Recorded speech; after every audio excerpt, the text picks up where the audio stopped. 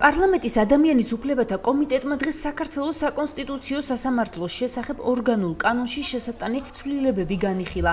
სხდომას ირინა იმერლიშვილიც ესწრებოდა, რომელმაც უკმაყოფილება გამოთქვა იმის გამო, რომ ცვლილებების პაკეტი ვენეციის კომისიაში არ გაგზავნილა. ბესელიას განმარტებით ეს ჯერ სამუშაო ვარიანტია და ვენეციის კომისიაში მხოლოდ დამუშავების შემდეგ გაიგზავნება. სხდომა ნაციონალური მოძრაობისა და მმართველი გუნდის წარმომადგენლების კამათის ფონზე მიმდინარეობდა.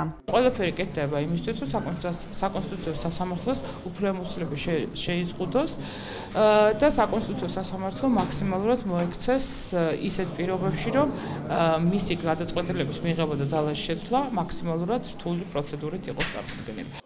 ცვლილებები ეხება მოსამართლეებს, რომელთაც უფლებამოსილების 10 წლიანი ვადა ეწურებათ. კამათის თემა იყო მოსამართლეებს უფლებამოსილება მოქმედების ვადის ამოწურვისთვანავე უნდა შეუწყდეთ თუ მათ მიერ აღებული საქმეების დასრულების შემდეგ. ნაცმოძრაობა მიიჩნევს, რომ მოსამართლეებმა საქმეები უნდა დაასრულონ და მხოლოდ ამის შემდეგ შეუწყდეთ უფლებამოსილება. მართველი გუნდი კი ოპონენტების აღნიშნულ ინიციატივას არ ეთანხმება. ნაცმოძრაობაში აცხადებენ, რომ ხელისუფლება კონკრეტული მოსამართლეებისთვის უფლებამოსილების შეჩერებას ჩქარობს, რადგან მთავრობას არ უნდა რომ სა საარჩევნო დავები ძველმა მოსამართლეებმა განიხილონ. ამ მოსაზრებას არიზიარებენ ქართული ოცნების დეპუტატები. ნაციონალური მოძრაობა ამბობს, რომ ძველი შემადგენლობა უნდა დარჩესო იმისათვის, რომ ქართულ ოცნებას ეშინია, რომ ძველმა შემადგენლობამ რაღაც საკითხი არ განიხილოს ისეთიო და თქვა გვეშინია, არ გვეშინია, მოგწონს, არ მოგწონს.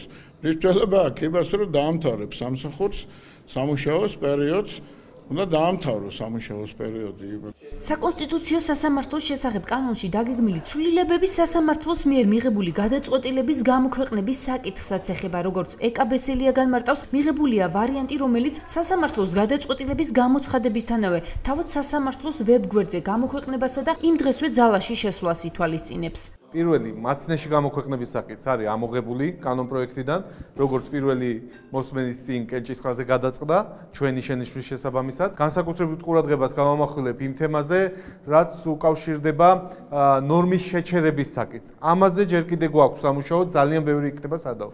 კომიტეტის წევრებმა ბევრ საკითხის შეთანხმებას ვერ მიაღწიეს, ამიტომ ცვლილებების ირგვლივ ცხარე კამათი სავარაუდოდ პარლამენტის ხდომათა დარბაზშიც გადაინაცვლებს.